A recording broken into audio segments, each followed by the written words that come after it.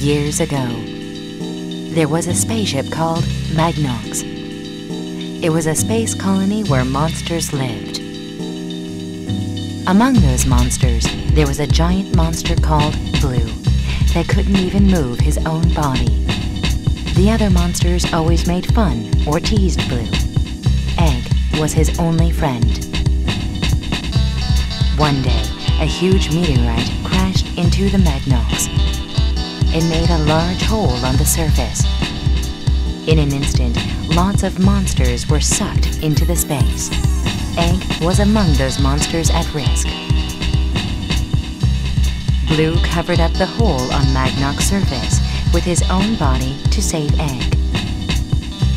The monsters were very thankful to have been rescued, but lost no time in forgetting.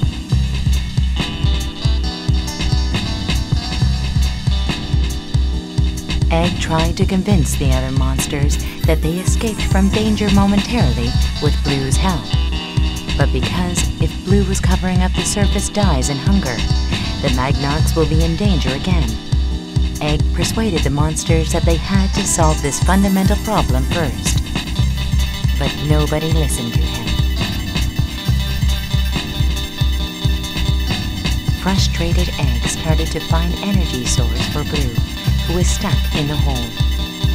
With several experiments, Egg found out that Blue can take in energy only from a perfect body. And with an imperfect body, fatal errors occur.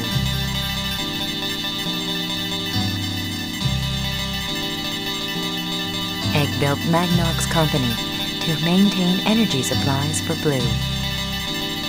And he spread out false advertisement of Magnox Company which made it look good enough to attract monsters with a perfect body. Lots of monsters crowded into Magnox Company under illusion.